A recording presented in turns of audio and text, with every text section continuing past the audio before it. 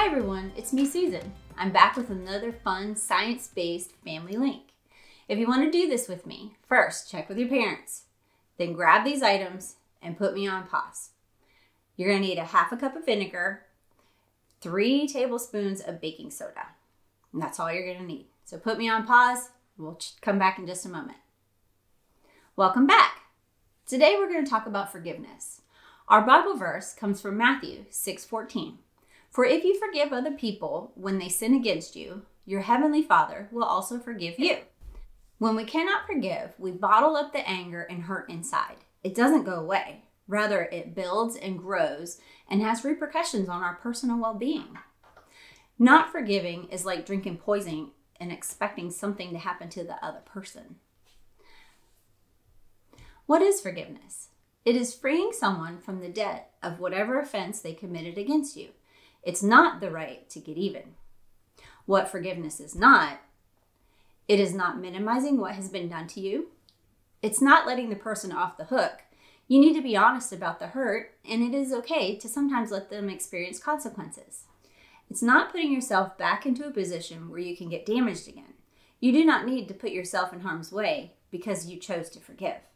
It's not forgetting what happened either. Why do we forgive? We forgive because the Bible asks us to forgive. We also forgive over and over again because that is exactly what God does for us. Let's pretend this cup is your body.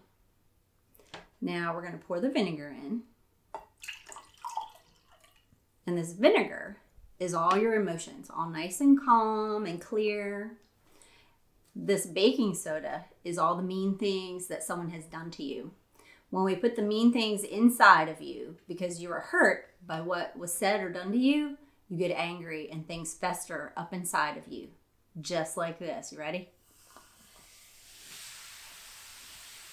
You boil over with emotions and you get angry. If we don't forgive, it harms us, just like this. The hurt and anger grows and we suffer.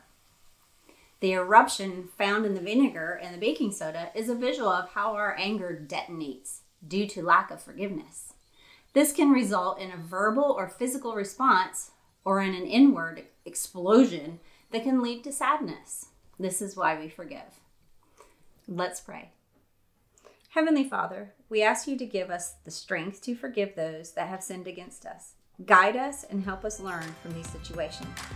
It's in your name we pray. Now go give this experiment a try,